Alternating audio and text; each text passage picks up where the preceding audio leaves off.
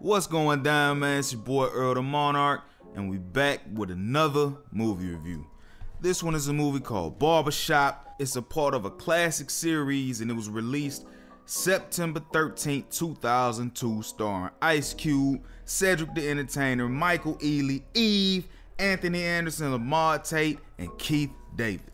So it starts out with two niggas arguing driving down the street and then they back into a convenience store, completely destroying the entire front end of the store.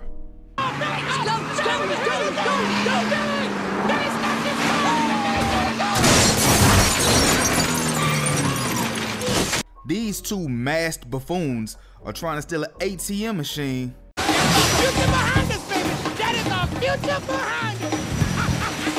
and we're then introduced to our main character, Calvin who's played by my boy Ice Cube, which the movie came out through his production company, CubeVision. Shout out to Ice Cube, you know what I'm saying?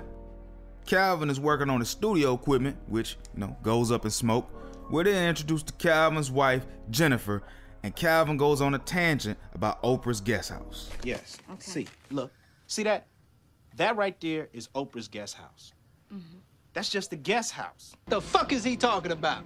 Why do you have this? We then get a bit of exposition telling us that Calvin has been running the barbershop for two years since his pop died. Well, it has been a whole two years since you took over the barbershop. I mean, look at you. You have hung in there. Baby, you have no idea how proud I am of you. You know your father would have been proud of you too. We cut to the shop owner's reaction to seeing his store got run in. By the way, this whole movie takes place in the great city of Chicago. We then get some strong words of encouragement from brother Calvin. Stay strong, bruh. Calvin opened up the shop. Off the rip, two people pull up as soon as he cuts the light on. Calvin, I need a cut. Like how you did Ronnie last week. Little off the top, long in the back, but not quite no shag. Slope to the left like Gumby. Eddie Munster in the front, a little white cliff on the right. Come on, hook that up for me. Nigga, what? So what they say? Neither one of these niggas say their name, but Trenchcoat Cuz basically gives us the plot of the movie. The bank's not gonna give you another loan. We've already given you a small business loan and a grant that you use on your other businesses. But if you don't pay the property taxes, the bank is gonna foreclose on the shop. Calvin is behind on the property tax and facing foreclosure on the shop. Calvin then makes a very vague phone call to a Mr. Wallace. Hey, hey, hey, how you doing, Mr. Wallace? Oh yeah, yeah, this is Calvin. You know over at the shop? Yeah. I was just wondering, was you still interested in what we talked about the other day? I'm sure we'll come back to this plot point later. We're then introduced to JD and Billy, who are the two goofballs that stole the ATM machine at the beginning of the movie. We're then introduced to Terry, who pulls up to a man house trying to catch him cheating. Where is she? Look, Terry, let's not do this again. Terry, come on now. And Dog is literally the worst cheater on the planet. Why don't you look under the bed? Go ahead, look under the bed. I bet you I would hide a woman under that bed. He said that as if it was some sort of reverse psychology. My dad? Oh, yes. But the bitch is under the bed. Then she comes from under the bed and the stupid motherfucker just stands there. Who is she? I don't know.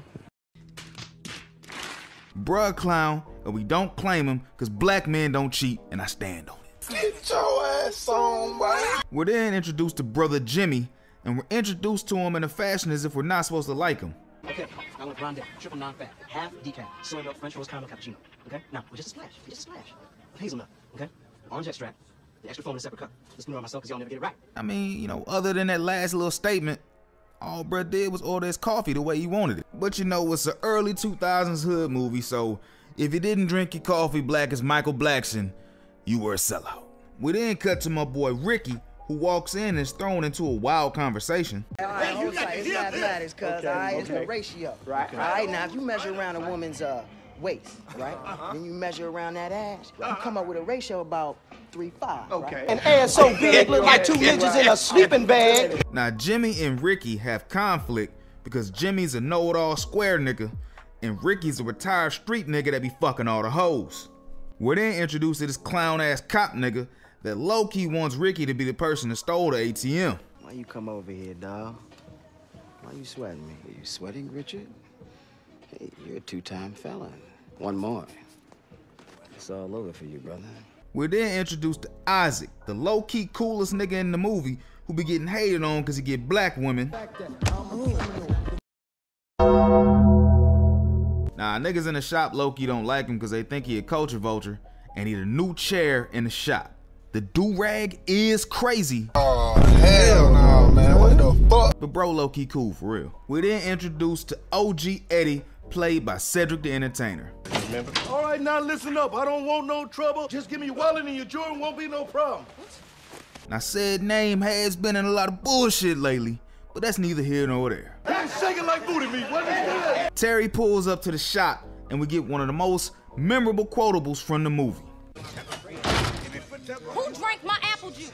Maybe no one drank it. Maybe it evaporated. Maybe. Man, shut your bitch ass up, nigga. Nobody asked you that a bitch ass thing. You better Cut to JD and Billy, who's trying to get into the stolen ATM in his mama's house of all places.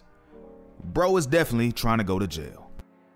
The little homie walks in and sees them trying to break into the stolen ATM inside the room and threatens to snitch on what? So now they gotta change locations and they run into the comic relief fat nigga of the movie. Big homie got the supersized burger and a drink and he said, fuck what y'all talking about. I'm getting upstairs, homie.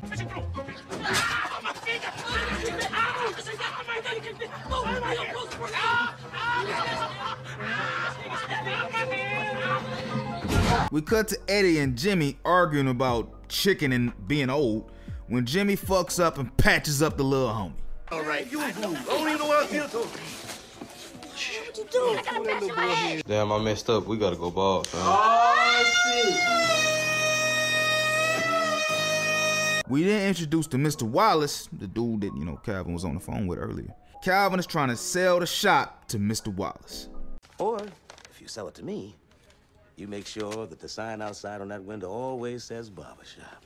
Now, if you take this money, that's, uh, as good as a contract. I wouldn't want to have any, uh, misappropriations going on up in here.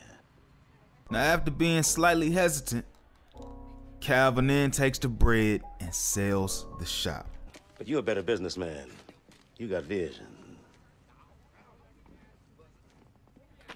20G, that's your buyout. I'll take over the payments from the bank as we discussed. Mr. Wallace then reveals that he's gonna turn the barbershop into a strip club.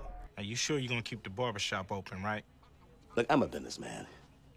And a barbershop ain't exactly a cash cow. So I'm gonna turn it into a gentleman's club. And Calvin ain't feeling it. Wait a minute. Wait a minute. That's not what we discussed, Mr. Wallace. It's gonna be called the barbershop. I'm gonna keep that same theme going. You know, the girls dressed up like little barbers, and uh, you can come in and they'll give you a trim, and you can get some trim. The fellas in the shop arguing about the race of the store owner across the street. He's Pakistani. He's from Pakistan. Well, all I know is he can pack and stand his ass on that corner all he want to. When the little homie who got patched up mom walk in and the whole shop turn into weirdos. Boy, what's wrong with you? You got a patch on the back of my head. I did not, man, I did not keep moving. Mmm, Bless her. Yes, uh, uh, It don't look that bad. Just think of it as a new style. Before you know it, everybody gonna be walking around with a patch in their head. What? Ain't that right? Right? Shorty really ain't even that bad.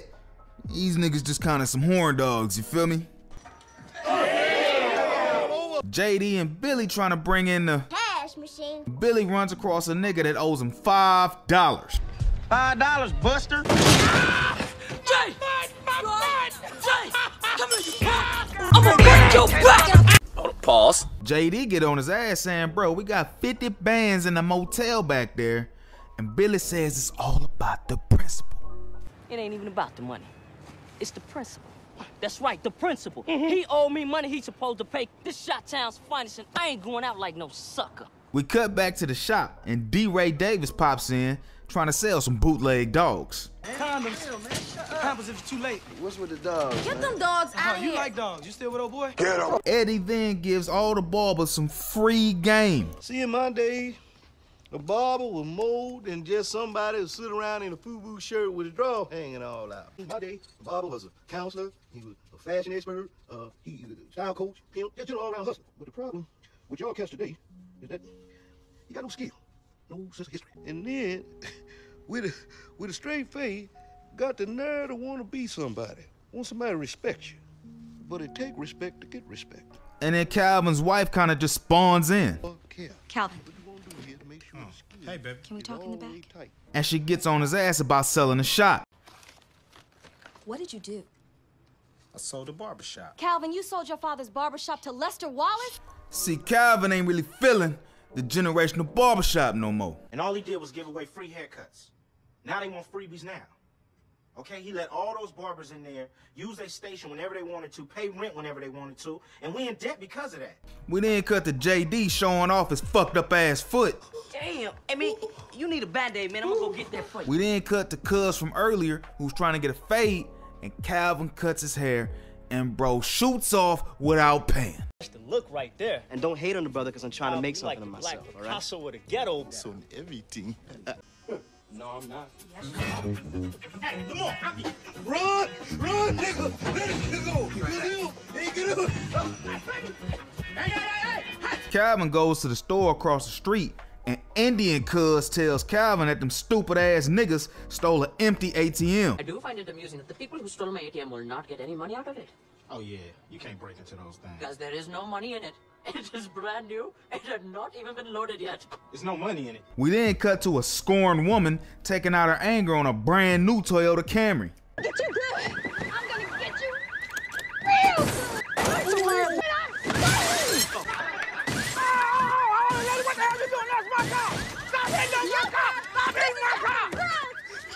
Calvin is having second thoughts on selling the shop and calls up Mr. Wallace for a meetup.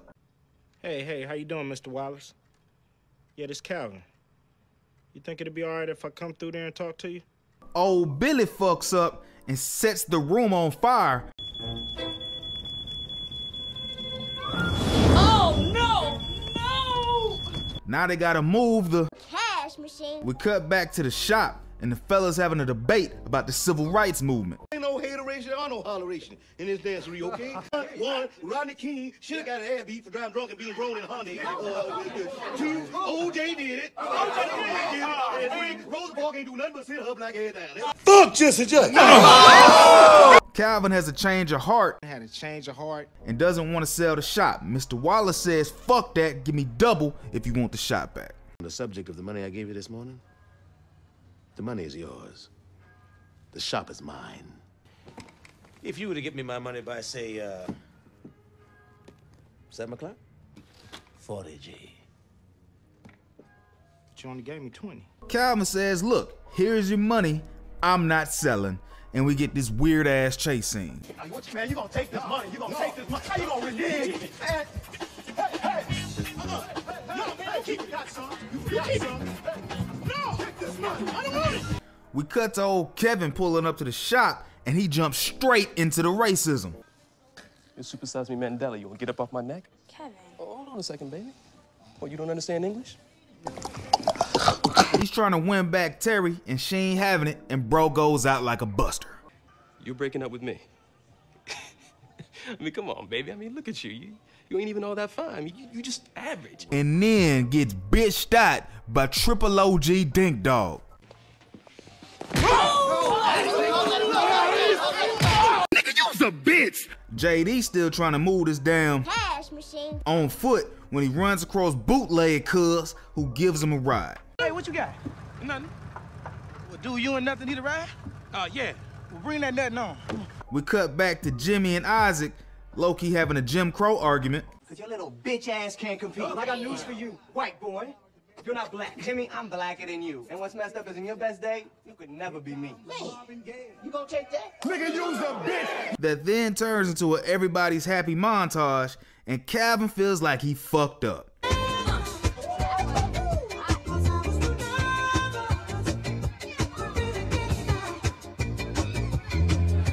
We cut back to the shop, and none of these niggas cutting hair, and they having a debate about reparations, and then Ricky then schools Jimmy on scallops.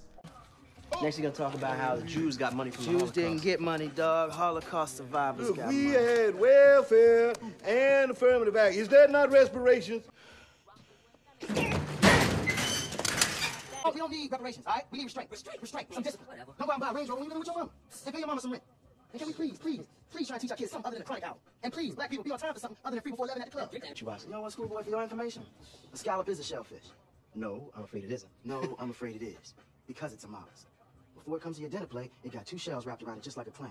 Calvin then has a bug out session and flips on old bootleg cuz. How many times I told you not to come in here solicit? Are you retarded?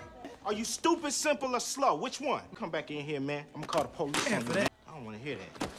What's up, man? Here, man. You ain't right, This Cal. ain't no- You ain't right, man.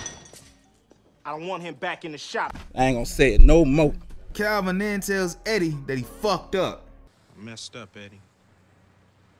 I messed up bad. Eddie gets on his ass. This ain't no goddamn school of the blind, Calvin. This is the barber shop. The place where a black man means something. Cornerstone neighborhood. Cuz from earlier pops up and gives Cal the money from the fade he got earlier. Bam! Calvin then breaks the news to the barber gang. We're gonna be closing up the shop today. I sold the shop. You what? And the shop gets fucking raided by the laws.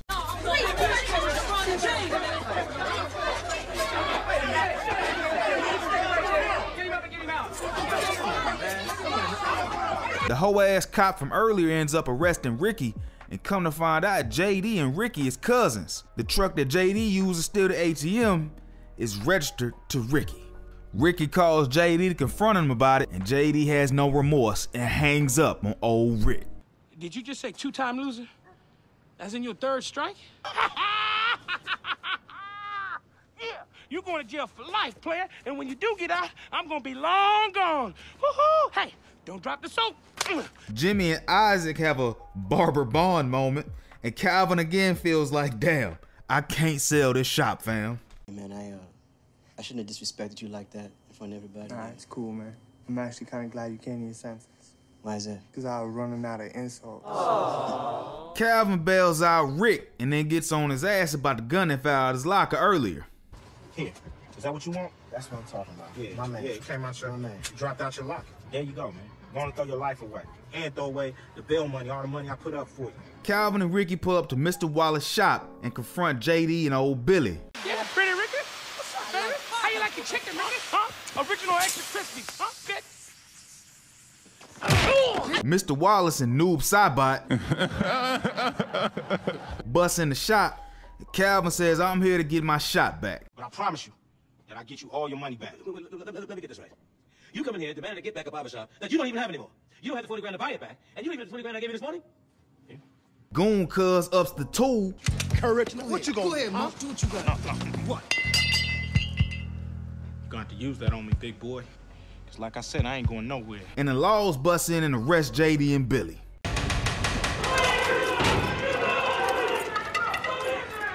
Calvin ends up getting the reward money and gets his shot back. Get a reward if you turn this in. Did you know that? Hey, yo, Detective Williams. Remember who found this? And that's the end of the movie. Martin Luther King was a hoe. Oh. Now, I ain't gonna lie, this movie is low key, you know what I'm saying, a classic, but I got my gripes. The only real plot of the movie is Calvin you know, wanting to sell a shop, selling the shop, and wanting to get a shop back.